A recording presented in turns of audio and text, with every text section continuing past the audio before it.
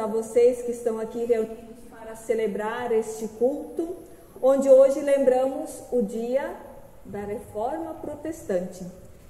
Martim Lutero, ele pregou as 95 teses na porta da igreja de Wittenberg, na Alemanha, e que marcou o início do protestantismo no mundo, onde a fé de um homem marcou a história da igreja cristã. E a sua fé estava baseada no que Deus quer e para todos nós, o que Deus quer comunicar ao seu povo. Pois foi lendo as escrituras sagradas, onde nós encontramos em Romanos, capítulo 1, versículo 17, o justo viverá fé, que Lutero foi impactado, impactado pelo Evangelho, impactado pelo amor de Deus por todos nós. Que este mesmo Evangelho também possa impactar a nós hoje, não só hoje, mas também em todos os nossos dias. Quero saudar de uma forma carinhosa hoje também os visitantes. Pergunto se temos visitantes aqui entre nós. Temos aqui, né? A irmã da Rose, né? Lá de São Bento do Sul, né? Temos mais visitantes entre nós? Opa, da onde? Joinville, o casal ou é só um? Casal. O casal, né? Então, sejam bem-vindos. Só que ele, ele levantou a mão, né? Então, sejam bem-vindos também aqui no nosso meio, no meio desta comunidade, que vocês possam se sentir bem também aqui. De uma forma carinhosa, também queremos hoje saudar o casal, Bruna e Júnior, né, que estarão trazendo então a bênção, querem buscar a bênção matrimonial na próxima semana, né? Depois então falarei um pouco mais com vocês e também apresentarei vocês aqui na comunidade. Sejam bem-vindos também. E também saudar as pessoas que estão em casa, né?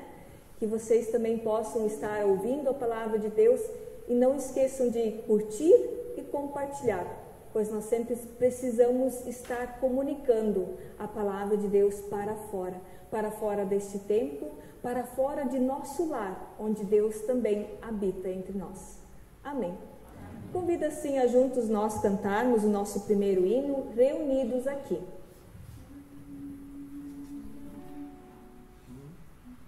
Reunidos aqui, só para louvar ao Senhor. nossa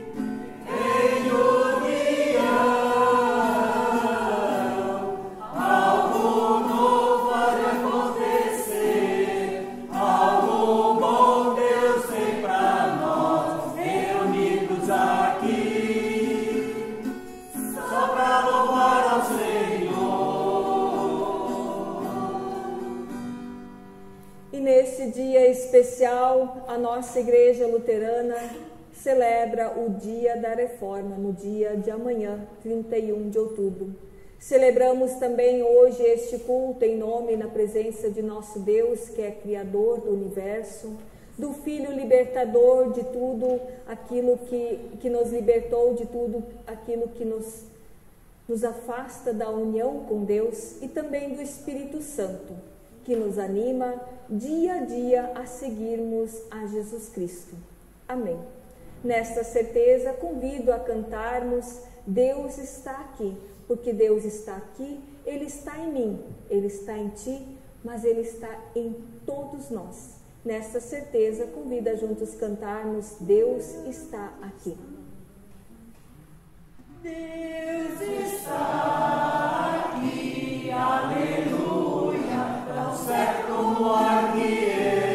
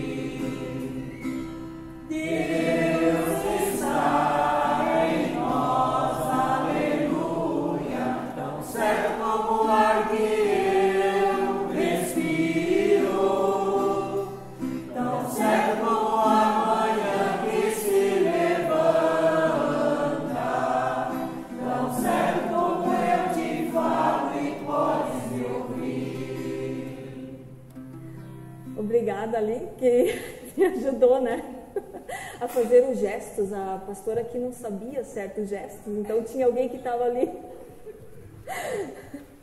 Obrigada, Elaine. Hoje, então, é dia da reforma luterana, amanhã, onde lembramos da palavra de Deus que nos diz: se dissermos que não temos pecado nenhum, enganamos a nós mesmos e a verdade não está em nós. Se, porém, confessamos os nossos pecados a Deus, Deus é fiel e justo e nos perdoará os nossos pecados e nos purificar, nos purificará de toda a injustiça. Confiantes nesta promessa, voltemo-nos em fé ao nosso Senhor e confessamos os nossos pecados a Ele. Quero assim proferir as palavras de uma oração de confissão de pecados de Martim Lutero. Nos colocamos de pé assim para a confissão de pecados. Deus Todo-Poderoso, Pai misericordioso, eu, pessoa pobre, miserável e pecadora, confesso-te todos os meus pecados e injustiças que cometi em pensamentos, palavras e ações. Com eles, em algum momento, causei a tua ira, merecendo teu castigo nesta vida e na eternidade. Todos esses pecados pesam em minha consciência e me arrependo deles profundamente. Peço-te, por causa da tua misericórdia infinita e da inocente e amarga paixão e morte de Jesus Cristo, tem misericórdia de mim, pobre pessoa pecador, pecadora. Perdoa-me todos os meus pecados. Concede-me a força do teu Espírito Santo para melhorar a minha vida. Amém. Irmãs e irmãos, Deus oferece perdão aos pecadores arrependidos, mas não para aqueles que não confessam os seus pecados. Sendo assim, lembramos da misericórdia do Pai que recebeu de volta o filho pródigo arrependido. É bom saber que Deus quer perdoar os nossos pecados e não sejamos e que nós não vivamos no meio de nossas falhas, mas que nós vivamos perto de nosso Deus. Com isso a nossa esperança, ela se renova. Pois Deus, ele nos amou, amou o seu mundo de tal maneira que deu o seu filho unigênito para que todo que nele crê não pereça, mas tenha a vida renovada, a vida em abundância, a vida boa, aqui e agora até na vida eterna. Amém. Queremos exaltar ao nosso Deus cantando o hino Glória a Deus. A comunidade pode sentar? Glória momento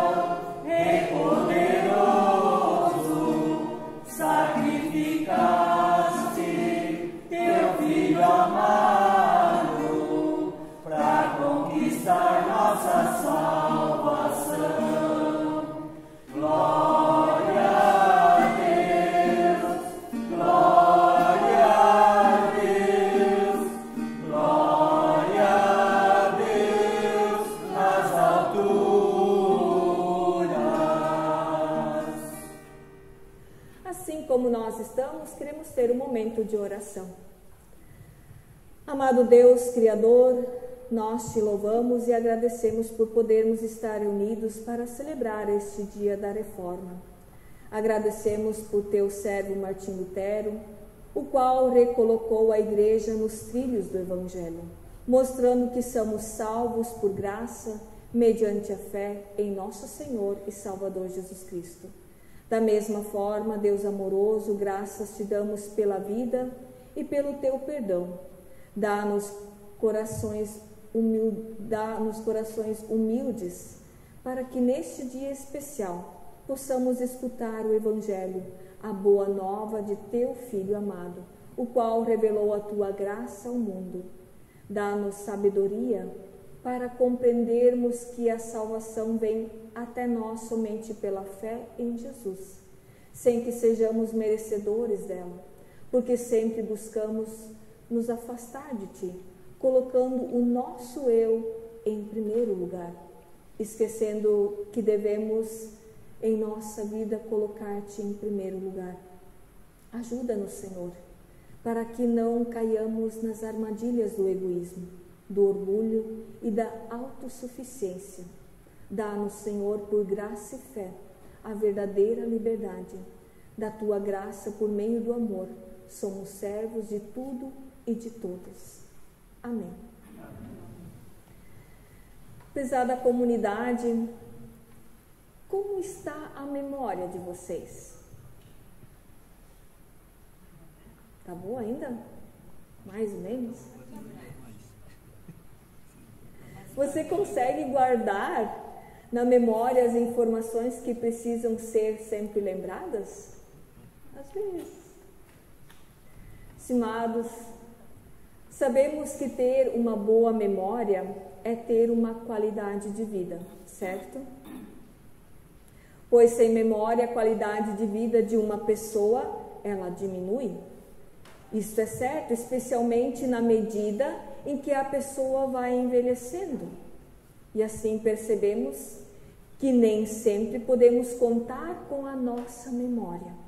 Por exemplo, você vai para o quarto para buscar algo, mas no instante que chega ao quarto, a pergunta: o que eu vim buscar aqui? Isso já aconteceu para vocês? Para mim também. Ou ainda outro exemplo, isso já aconteceu várias vezes. Uma pessoa te encontra na rua e começa a conversar animadamente e ela pergunta: Lembra de mim? Aí você, assim, meio sem graça, né? Sem coragem para dizer não, continua ali conversando, mas dentro de você tem aquela pergunta: quem será que é essa pessoa? E aquela pergunta fica ali o tempo inteiro remoendo o nosso coração. Quem será que é essa pergunta, essa pessoa? Eu até sempre tenho uma saída bem especial para isso. Eu tenho uma irmã gêmea, como vocês já sabem, né? Aí eu sempre digo assim: acho que você está me confundindo. Deve ser minha irmã. Boa desculpa, né? Mas certamente também existem outras situações bem mais sérias também do que essas, esses exemplos. Entre elas, a doença de Alzheimer, na qual a pessoa e a sua família sofrem com a perda de sua memória, trazendo danos para a sua identidade e também liberdade. Por isso, a memória ela é algo que nos é preciosa e necessária também para uma vida boa. E no evangelho de hoje, Jesus está conversando com alguns de seus conterrâneos judeus. Ele lhes diz: Vocês conhecerão a verdade e a verdade os libertará. Interessante observar que no grego, a, a língua em que o Novo Testamento foi escrito, a palavra verdade, aletheia, pode ser traduzida literalmente como não esquecer. Portanto, conhecer a verdade significa lembrar-se. Conhecer a verdade significa lembrar-se. Eu convido assim para nós ouvirmos a passagem bíblica, o qual nós encontramos no Evangelho de João, capítulo 8, versículos 31 a 36. João, capítulo 8, versículos 31 a 36. Então Jesus disse para os que creram nele: Se vocês continuarem a obedecer aos meus ensinamentos, serão de fato meus discípulos. Conhecerão a verdade e a verdade os libertará. Eles responderam: Nós somos descendentes de Abraão e nunca fomos escravos de ninguém. Como é que você diz que ficaremos livres? Jesus disse a eles: Eu afirmo a vocês que isto é verdade. Quem peca é escravo do pecado. O escravo não fica sempre com a, com a família, mas o filho sempre faz parte da família. Se o filho os libertar, vocês serão de fato livres. Eu sei que vocês são descendentes de Abraão, porém estão tentando me matar, porque não aceitam os meus ensinamentos. Eu falo das coisas que o meu pai me mostrou, mas vocês fazem o que aprenderam com o pai de vocês. Até aqui, palavras do Senhor. Felizes são todas as pessoas que ouvem a Sua palavra e a praticam de coração. Amém. Convida juntos cantarmos o, o próximo hino, Água Cristalina. Como água cristalina de um rio que vai tomar, a minha alma vai a ti só pra te adorar e cantar tua bondade,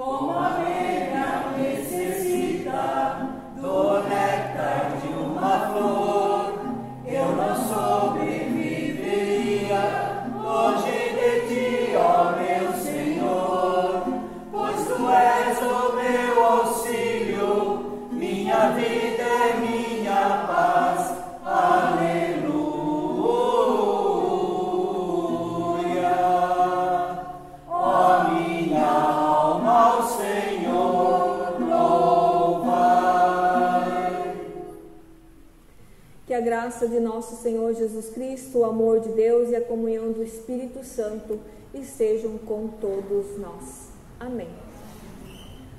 Conta-se que um rei, ele tinha cinco filhos e morava num lindo castelo. No entanto, esse castelo ele ficava muito próximo a um rio bem perigoso e violento. O rei, ele sempre pedia a seus filhos para que nunca brincassem perto do rio, mas eles estavam fascinados por ele e prontos para desapontar e desobedecer o pai. Certo dia, os quatro filhos mais novos construíram uma pequena jangada e decidiram navegar o rio. Num primeiro momento, deu tudo certo, mas a correnteza forte os arrastou rio abaixo, onde eles não podiam mais controlar a pequena jangada. Com isso, os quatro filhos do rei foram arrastados por muitos quilômetros. E quando conseguiram parar a jangada, já estava terra distante e desconhecida, onde eles estavam totalmente perdidos. No início, eles ficaram assustados e com muito medo, afinal, mesmo não tendo se afogado no rio, não podiam facilmente voltar para casa. Então, para não entrarem em desespero, enquanto esperavam o pai os encontrar, eles decidiram que todas as noites iriam acender uma fogueira e se sentar ao redor dela e lembrar as coisas boas que tinham no castelo, assim como família, comida, a cama boa e muitas outras coisas. E assim fizeram. Depois de vários dias, já cansados de esperar e nada do pai vir, um dos filhos desistiu. Resolveu se virar sozinho. Construiu uma casa de palha e simplesmente passou a viver como selvagem. Decidiu esquecer o pai, o castelo, a vida boa.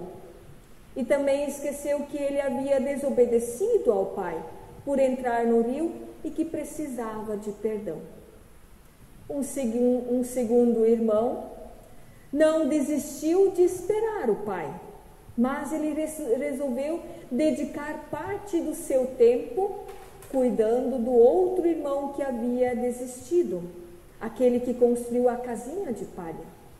Ele, ele passava grande parte de seu tempo em cima de uma árvore ou mesmo em cima de um muro, apenas observando o irmão desistente. Ele cuidava de cada detalhe de seu irmão, do, do que o seu irmão fazia.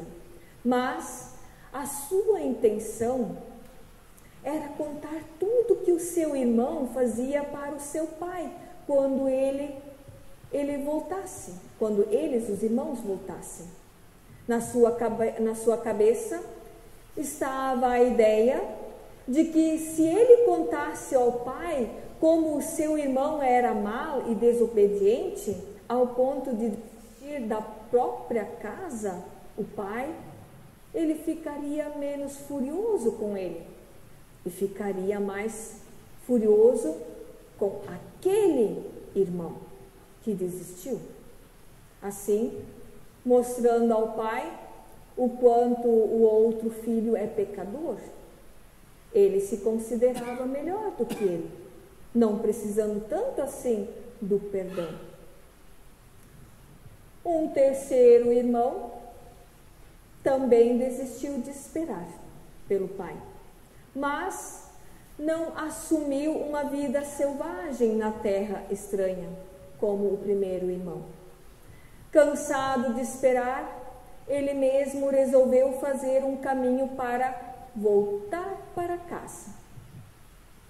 Foi até o rio e começou a montar pedras. Ele queria construir uma estrada rio acima com essas pedras. Seu pensamento era: pedra sobre pedra e eu chegarei em casa. Meu pai, ele vai se orgulhar do meu trabalho e esforço e vai me perdoar. E o quarto e último irmão continuou simplesmente esperando. Todas as noites ele se sentava em volta da fogueira, lembrava-se da casa do pai, e em seu coração estava a certeza de que ele e seus irmãos seriam encontrados. Para ele, estava claro que eles não conseguiriam voltar para casa sozinhos e que eles precisavam de ajuda. Depois de muitos dias perdidos, eis que o irmão mais velho, o quinto irmão que havia ficado em casa, os encontrou. E qual foi a surpresa? O primeiro irmão o da casinha de palha, disse que estava bem e que não precisava mais voltar para casa, muito menos do perdão do pai. O segundo irmão, o dedo duro, ele chamou o irmão mais velho para um canto e começou a contar tudo que o outro irmão da casinha de palha fazia, com intenção de amenizar a mágoa do pai sobre ele. O terceiro irmão estava dentro do rio carregando pedras. Levantou a cabeça, só por um instante disse para o irmão mais velho que ele voltaria sozinho pelo caminho de pedras. Vou mostrar a meu pai que mereço o perdão dele pelo meu esforço de voltar sozinho. Já o quarto irmão simplesmente se jogou nos braços do irmão mais velho e disse: Que bom que você veio, agora eu posso voltar para casa. Espero que o nosso pai me perdoe, pois sou um pecador.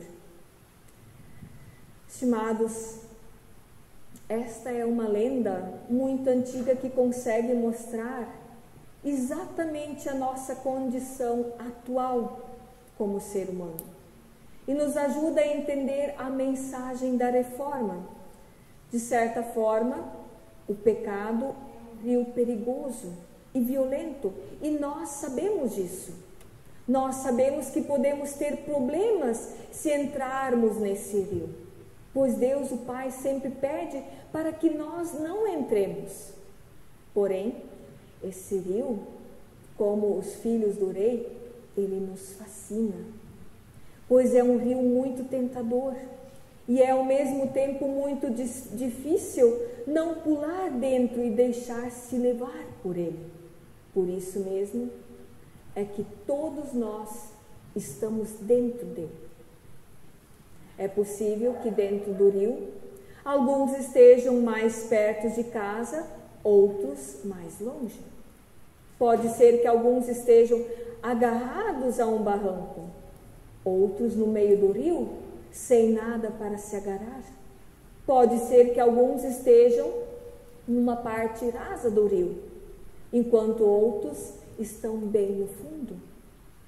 Verdade é que, de um jeito ou de outro, todos estamos dentro deste rio, que nos leva para longe de casa, para longe do castelo, para longe do Pai, para longe de Deus. Mas certo dia, um irmão mais velho resolve nos buscar resolve nos salvar. É sacrificado na cruz para nos tirar desse rio e nos levar de volta para casa. E quando nos encontra, como também na lenda, também vem uma surpresa.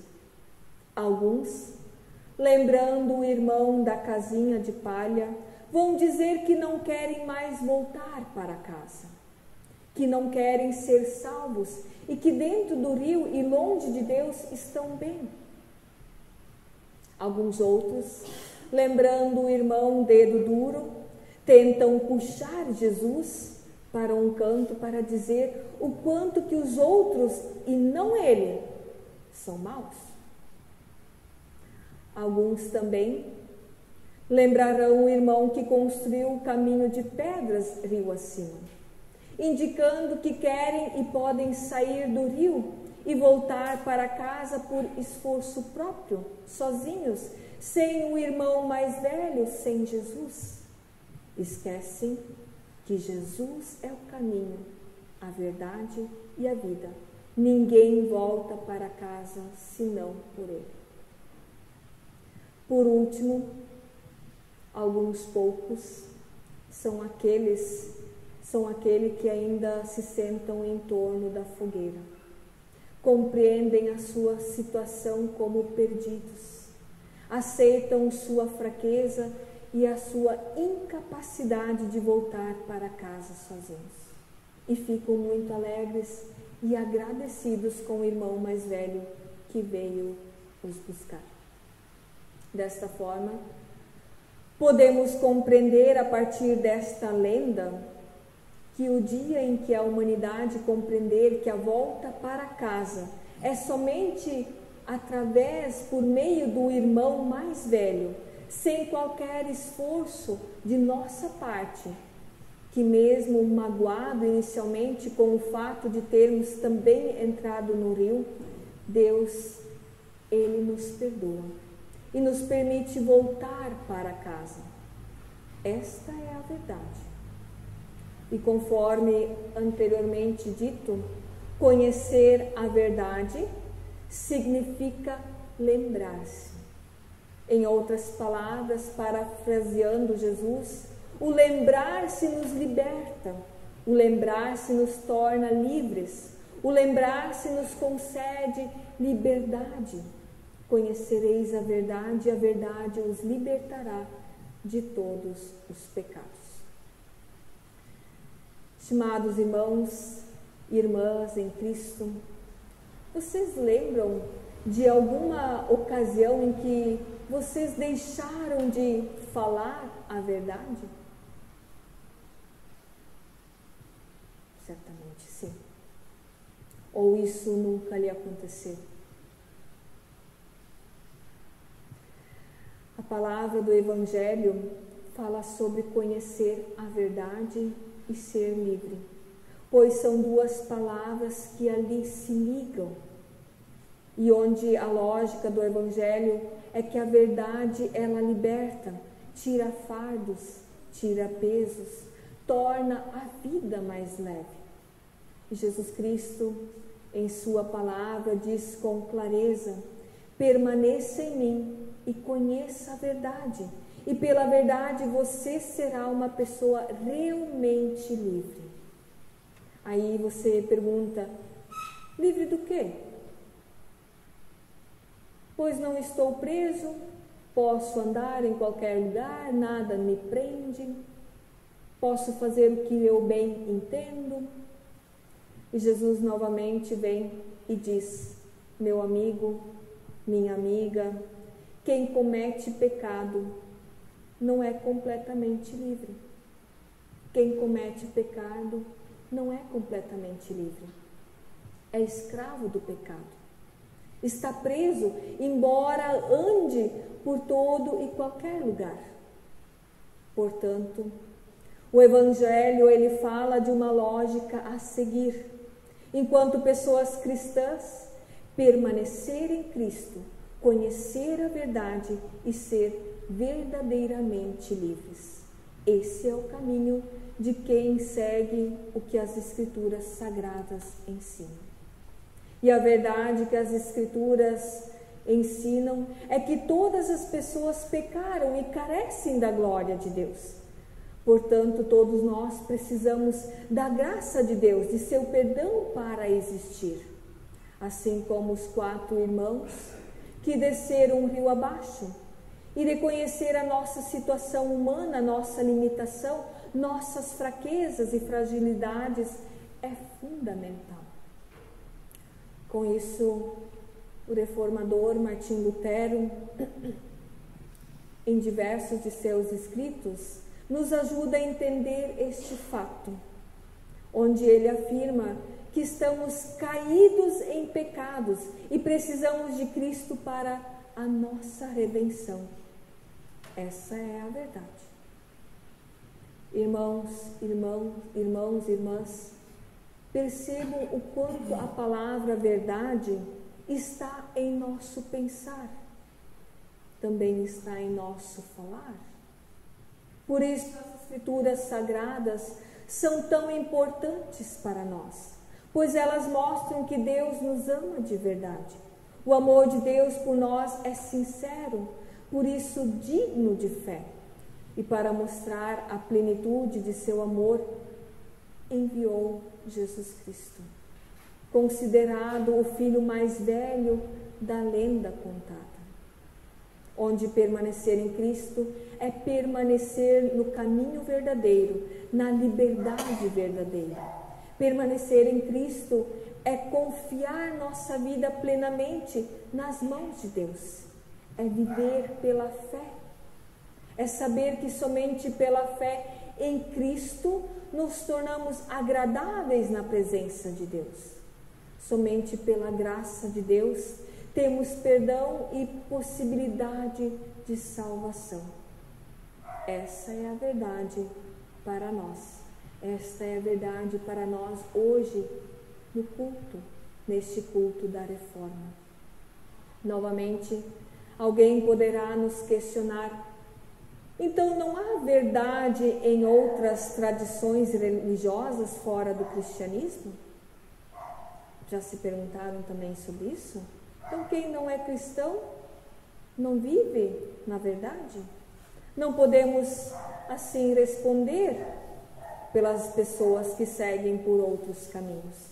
Mas para nós, pessoas cristãs, está claro que existe somente a verdade que vem de Cristo Jesus. Em Cristo, Deus ele mostrou e mostra o seu amor completo por todos nós. E a reforma na igreja no século XVI nos ajuda a compreender isso, onde Martim Lutero ele destacou a centralidade de Cristo. A reforma foi a renovação da igreja a partir do evangelho.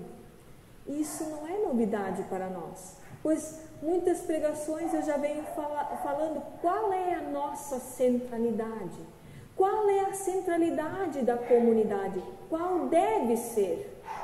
É Cristo. Cristo deve ser a centralidade da nossa vida, a centralidade da nossa comunidade.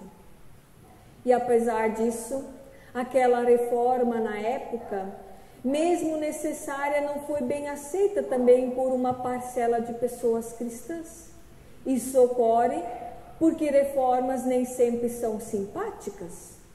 Isso também podemos constatar em nossos dias atuais, onde nos tempos atuais, em nossa sociedade, ao ouvir a palavra reforma, a qual falamos o tempo inteiro em nossas pregações, que precisamos ser mais igreja missionária, onde, como igreja missionária, precisamos olhar mais para os necessitados, fazer missão fora de nossos tempos e muros, há quem vibre e há quem se revolte. Há quem se anima para a missão de Deus, mas há aqueles que se revoltam e dizem não. De todo modo, reformas precisam acontecer quando, como igreja, olhamos apenas para o nosso umbigo. Aí a reforma ela precisa acontecer. Ao invés de olharmos para o que Deus quer de nós, nós olhamos para nós como comunidade. Mas cuidado, um dia teremos que prestar contas. Um dia eu, vocês, toda a nossa comunidade terá que prestar contas. E esta prestação de contas não será apenas comigo, mas será com todos nós. Assim ocorreu com a reforma da igreja no século XVI, onde o ser humano foi recolocado em seu devido lugar e Jesus Cristo foi destacado para a centralidade de nossas vidas. E as Escrituras Sagradas foram novamente reconhecidas em sua autoridade como palavra verdadeira do Deus verdadeiro.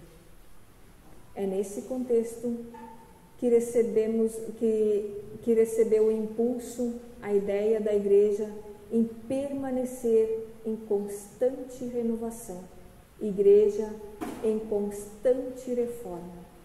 Assim somos nós. Nossa igreja também por vezes precisa de um chacoalhão, pois precisamos nos sempre renovar, precisamos nos manter em constante renovação, olhando sempre para a centralidade que é Cristo Jesus. É a palavra de Deus falando de maneira inovadora para dentro das nossas realidades que vão surgindo. É a igreja com capacidade de se, de se adaptar para que a palavra de Cristo mantenha alcance e transforme a vida de pessoas e também da nossa sociedade. E permanecer em Cristo e em Sua palavra é conhecer esta verdade, é permanecer verdadeiramente discípulos e discípulas. É por graça deixar-se libertar das amaras do pecado, é deixar Deus reformar a nossa vida a cada dia. Permanecer em Cristo é se dar conta de que Ele cuida de você, cuida de mim em todas as horas. É, é perceber que quando você passou por doença, despedida, dor, tristeza, Cristo lhe amparou. Tão somente pela graça de Deus você venceu. Tão somente pela fé em Cristo você pode prosseguir o seu caminho. E assim, aqui podemos reafirmar que somente pela graça, somente pela fé, somente pela Escritura e somente por Cristo encontramos a verdade. A verdadeira liberdade e a salvação que está além daquilo que nós vemos. Creiamos nisso. Amém. Amém. Em resposta à palavra lida e pregada, convida a nós cantarmos o hino Castelo Forte.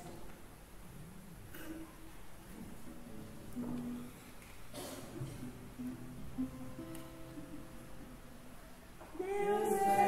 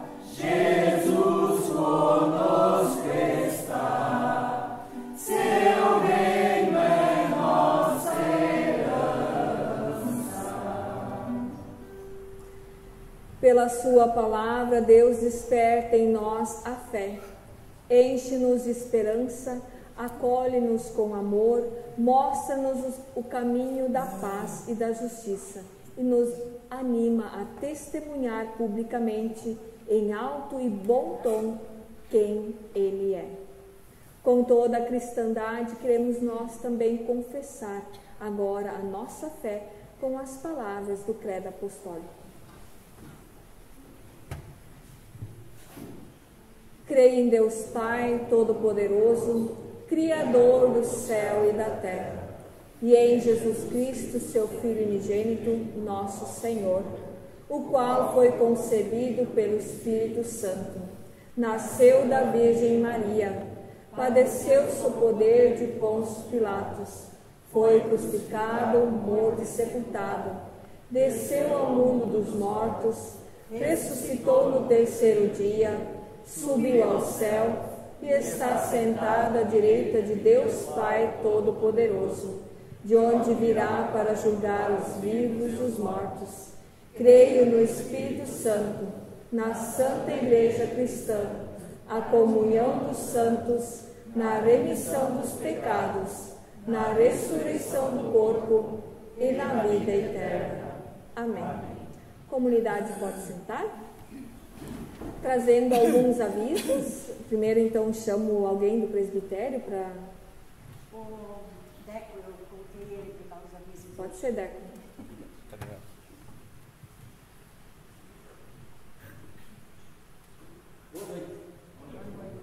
Ah, acho que todo mundo aqui já sabe do nosso almoço, é, dia 14 de novembro.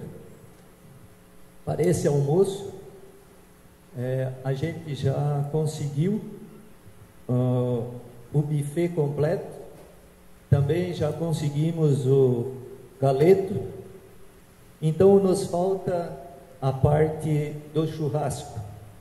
Esse churrasco vai ter um custo mais ou menos para nós de R$ 2.300. É, eu tenho uma lista, inclusive já visitei alguns membros, algumas pessoas conhecidas minhas. Eu já consegui um, alguma coisa, mas a gente precisa ainda mais para conseguir chegar nesse valor. É, eu, eu tenho um, um, pedido a vocês que se tiver alguém é, disposto a ajudar para completar esse valor, pode falar comigo depois do culto. E a gente tem por objetivo é, fechar essa lista, fechar esse valor para poder passar para a nossa diretoria esse valor com a finalidade de ser um lucro líquido para eles fechar os meses de novembro e dezembro de repasse à paróquia. Todo mundo sabe que não está fácil, né? A gente está conseguindo aí com muito esforço. Eu não faço parte da, do presbitério da comunidade. É, eu puxei junto com o pessoal do, da diretoria para conseguir os recursos para nós conseguirmos um lucro líquido para passar para a diretoria esse valor. Que Deus abençoe todas as dádivas e também seus doadores. É, temos ainda rifas. Essa rifa é importante nós fecharmos todas as rifas, porque ela vai nos dar um lucro líquido e também vai juntar nesse valor para nós passar para a diretoria. E quem tiver interesse em pegar mais algumas rifas, a Rose aqui, ela, ela tem, depois também vocês podem pegar com elas. Obrigado.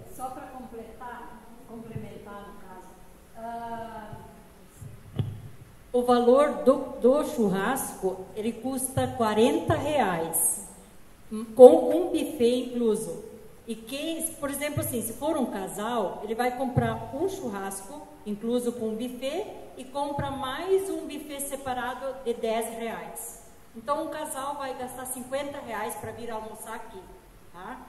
O galeto é 25 reais, é, com um buffet incluso, e mais um buffet separado de 10 reais ficaria 35 para um casal, no caso. E também vamos colocar a, a venda sobremesa, só que daí esse lucro vai ser para o ASE, para o grupo de mulheres. Então isso vai ser a parte. Vai ter a, a cinco reais a, um potinho de sobremesa a parte, mas daí isso é opcional, né? E esse lucro da sobremesa fica para o ASE. Acho que seria isso. Qualquer dúvida, é só vir falar comigo que a gente explica certinho. E as, as reservas são feitas comigo. Tem propaganda já, a gente está com os panfletos, inclusive foi colocado no grupo da, da nossa igreja de Barra Velha. Então ali tem o número de telefone, que seria o meu, para fazer a reserva, ou então quiser já comprar, porque daí eu vou fazer a anotação, vou ter a lista certinho, quem já comprou, quem já pagou, o nome da pessoa, para no dia não dar um, o tumulto daí, tá? Obrigada. Isso então, os avisos da comunidade.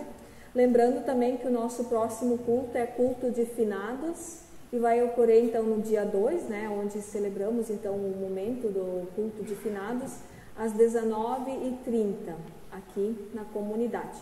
Então, anos anteriores, pelo que eu soube, não, não era feito o culto de finados, mas queremos sim fazer esse momento aqui com a comunidade, o qual também queremos lembrar as pessoas que faleceram, faleceram ao longo deste ano, desde novembro do ano passado até agora. Culto de confirmação também nós teremos no dia 13 de novembro, onde o Daniel e a Noemi então serão os confirmandos aqui desta comunidade, então estarão aqui fazendo a sua confirmação no dia 13 de novembro.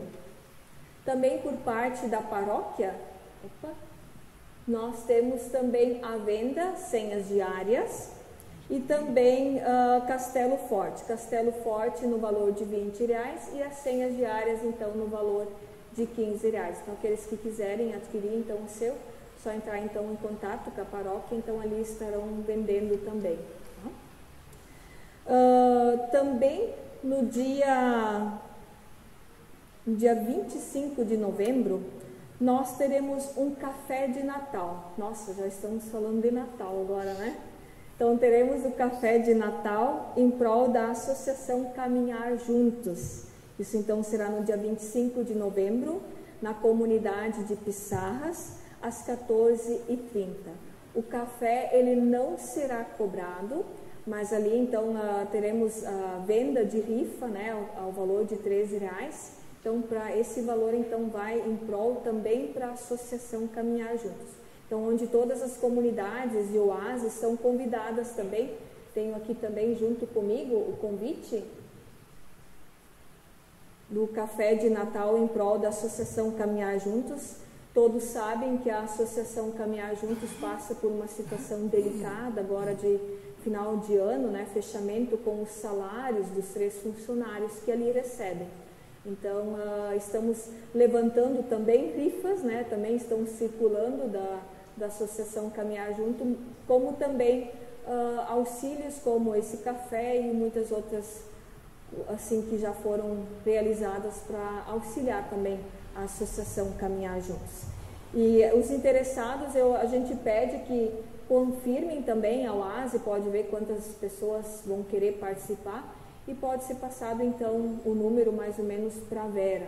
E aí ela tem mais ou menos o, o controle de quantas pessoas irão estar participando também deste café em prol da Associação Caminhar Juntos. E hoje também tem uma convocação, a qual já foi lida na semana passada, e faço novamente a leitura dessa convocação. Assembleia Geral Extraordinária, Administradora Judicial Provisória da Paróquia Evangélica de Confissão Luterana Pissarras, Senhora Irene Álvares, vem por meio desta convocar os membros do Conselho Paroquial para a Assembleia Geral Extraordinária a ser realizada no dia 5 de novembro de 2021, a primeira convocação às 19 horas, na Paróquia Evangélica de Confissão Luterana Pissarra, cito Avenida Emanuel Pinto, 913, centro de Balneário Pissarra, Santa Catarina.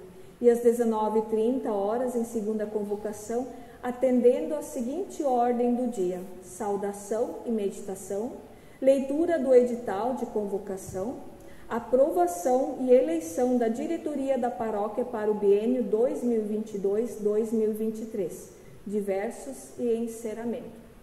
Neste dia, a gente pede também que os representantes dos setores, seu Horst, e seu Alcides, né? Seu Horst pela Lelute e também Alcides pelo culto infantil, bem como também a diretoria, da, o presbitério da comunidade estejam presentes, assim como os demais membros da comunidade poderão estar presentes, onde então será eleita a nova diretoria da paróquia, sendo esta então instalada no dia seguinte aqui em Barra Velha. Então, a instalação desta nova diretoria vai ocorrer aqui na comunidade de Barra Velha no dia 6 de novembro, em culto, né? No, juntamente com o casamento da Bruna, mas a Bruna e do Júnior vai ser antes, né, Júnior? Então, seriam esses os convites e avisos, então, que estamos realizando.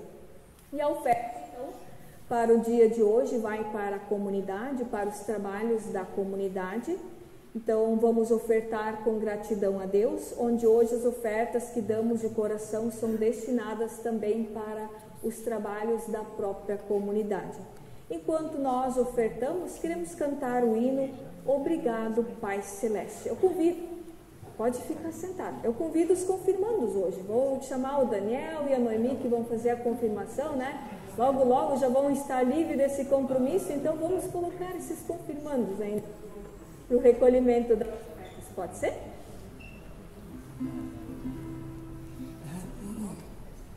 Obrigado, Pai Celeste, pelas bênçãos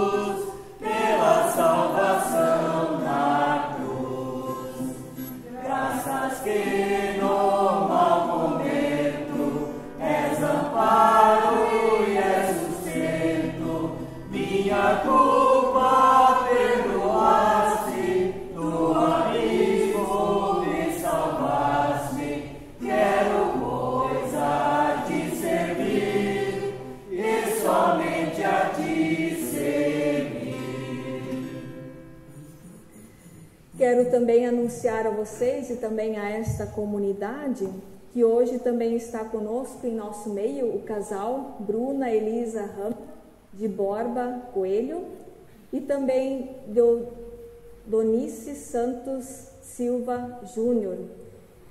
Eles estarão então recebendo a bênção matrimonial de nosso Senhor dia 6 de novembro, aqui na igreja Apóstolo Pedro de Barra Velha.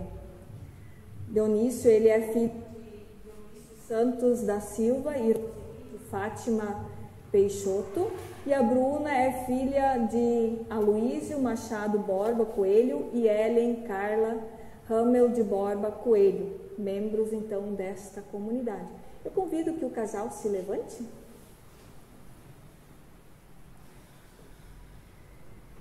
Desde já eu quero deixar uma pequena mensagem para vocês, para o casal. Mas primeiramente eu quero fazer uma pergunta a vocês, o qual eu fiz lá também hoje, né? O que é preciso para ser para se ter um casamento feliz e duradouro? Amor e Deus, né? Então, a pergunta não foi exatamente nesse sentido, mas foi mais ou menos assim, né? Não ia ter graça, não ia saber, vocês já iam, já iam colar da, da resposta de tarde, né? Então, o que é necessário, o que é preciso para se ter um casamento feliz e duradouro? Amor, Deus. A gente pode incrementar mais umas palavras, né? Respeito, paciência, eu vi aqui, né? Então, às vezes precisa de paciência também. Né? Então, todas essas coisas precisa para ter um casamento feliz e duradouro. Um casamento não é como também uma receita de bolo, onde temos ali as medidas certas a serem colocadas em nosso bolo. Não é assim aos casados? A gente não sabe a receita, a gente vai aprendendo, né? Ano após ano nós vamos aprendendo com o que, o que a gente precisa colocar mais, às vezes um pouco de menos no nosso bolo. Mas ao falarmos ou ao buscarmos a bênção de Deus, inúmeras palavras nos vêm à mente nesse momento de caminhada junto, juntos como casal. A paciência, como já foi falado, o amor, a compreensão, o carinho, o respeito e assim inúmeras palavras que podemos citar, além do amor, além de Deus caminhando juntos. Mas uma palavra quero que vocês levem para toda a vida, que é o jugo. Vocês sabem o que é isso? Hoje eu, dei, eu disse para vocês, né? Mas a comunidade, sabe o que, que é isso? Jugo. Vocês sabem o que é jugo? Ou vocês sabem o que esta palavra nos quer dizer? Para aqueles que se criaram no interior, pode ser que saibam. Quem é que se criou no interior? Talvez usando de uma, de uma palavra parecida com isso. Jugo é uma peça de madeira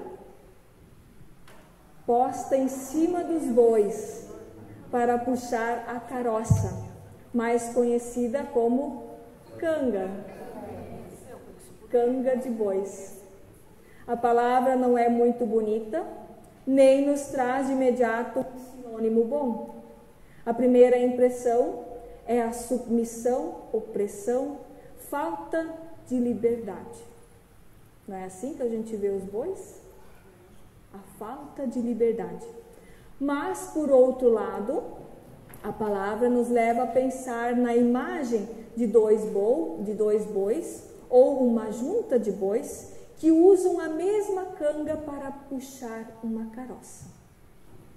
E essa palavra ela se aproxima do matrimônio onde duas pessoas se amam, formam uma junta como uma dupla e se propõem a dividir a mesma vida, o mesmo destino, a mesma luta por objetivos comuns.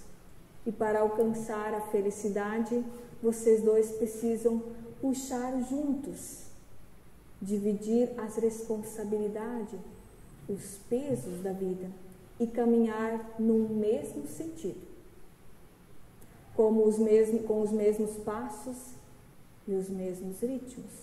Se não for assim, o que, que acontece? A carroça vira, né? Se um puxa um pouco mais para frente, outro fica atrás, quando vê a carroça, dá uma virada. Onde hoje podemos arriscar em dizer que a canga usada pelo casal, os noivos, é o amor. É o elo que une e renova o compromisso de caminhada na mesma direção.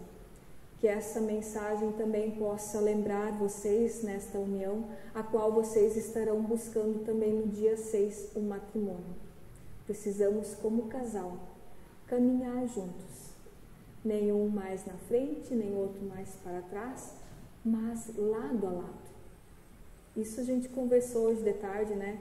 da importância de estar buscando também a bênção de Deus, onde também falei um pouco sobre a corda das três pontas, né, onde a terceira ponta é Deus. Que Deus possa abençoar também a decisão de vocês, a caminhada de vocês também até já tem caminhado com vocês até agora, muitas coisas vocês já fizeram em conjunto, assim como a construção da casa, como muitas outras coisas, né? Vocês já caminharam, já estão caminhando lado a lado. Que Deus possa abençoar vocês também para os próximos anos, até o final da vida de vocês. Que vocês no final da vida possam né, estar ali de bengalinha né, e olhar assim: olha, Deus tem sido bom para nós. Né, Deus nos abençoou e Deus caminhou conosco. Eu peço uma salma de palma para o casal.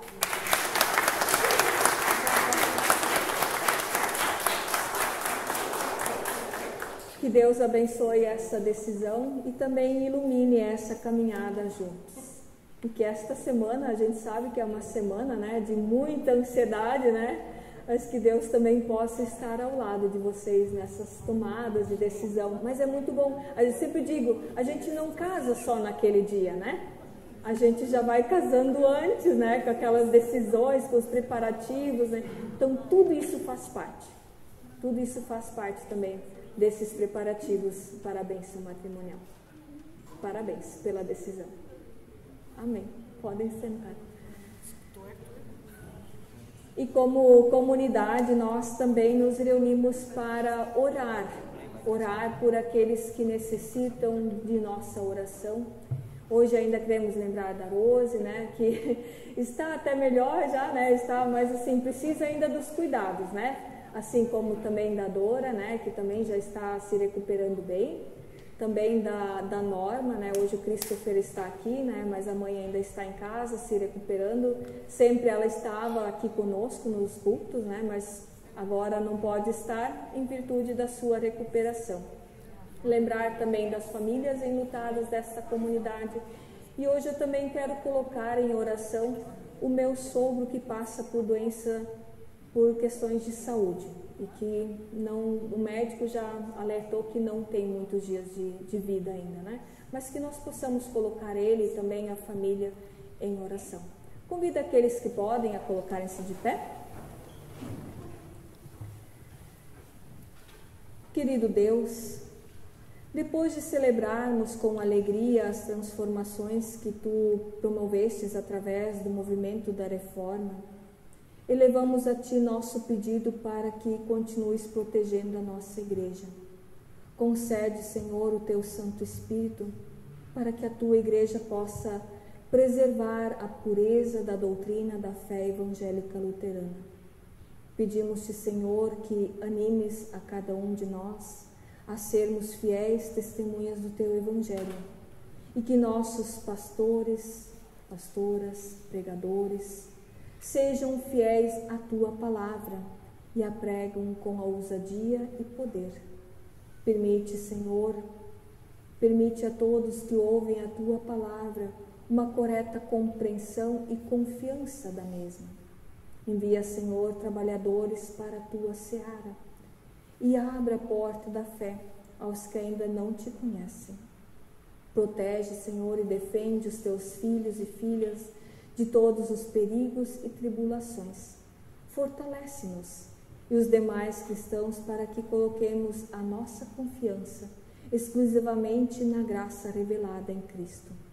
Suplicamos, Senhor, por todas as pessoas que passam por necessidades, por todas as pessoas adoentadas e enlutadas, para que elas encontrem consolo e conforto em Ti. Proteja, Senhor, contra todo mal e dá-lhes a certeza de que Tua presença e bênção através de pessoas que ficam ao lado delas. Esteja sempre com elas, Senhor. Deus de amor também, queremos lembrar com carinho deste casal hoje que eles estão também nesses últimos preparativos para o casamento. Esteja, Senhor, também ao lado deles, dando a eles a segurança da decisão a qual estão tomando. Senhor, também queremos colocar em tuas mãos as ofertas, que elas possam auxiliar também a tudo que nós, como comunidade, necessitamos ainda para ali estarmos pregando a palavra de nosso Senhor. E tudo mais que ainda temos para te agradecer e pedir, Senhor, entregamos a Ti por meio da oração que Jesus Cristo ensinou. Pai nosso que estás no céu, santificado seja o Teu nome, venha o Teu reino, seja feita a Tua vontade, assim na terra como no céu. O pão nosso de cada dia nos dá hoje e perdoa as nossas dívidas assim como nós também perdoamos os nossos devedores. E não nos deixes cair em tentação, mas livra-nos do mal, pois teu é o reino, o poder e a glória para sempre. Amém. E ao sairmos da casa de nosso Deus, queremos também sair sob a sua bênção. Como forma de bênção, convido para nós juntos cantarmos o hino de bênção. Bênçãos virão. Bênçãos virão sobre ti te alcançarão quando ouvires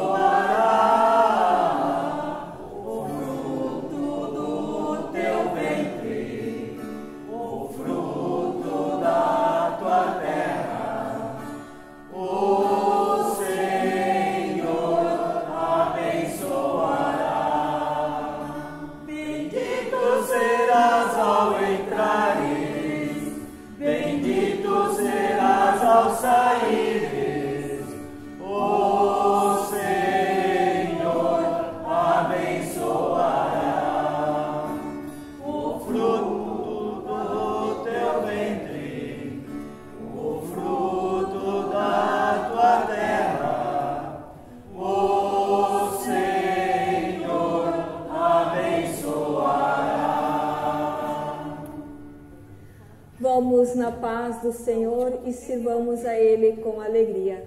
Desejo um abençoado domingo, também a bênção de Deus, uma abençoada semana. Mesmo com chuva, né? Mas a chuvinha também é sempre muito bem-vinda em nosso meio. Amém.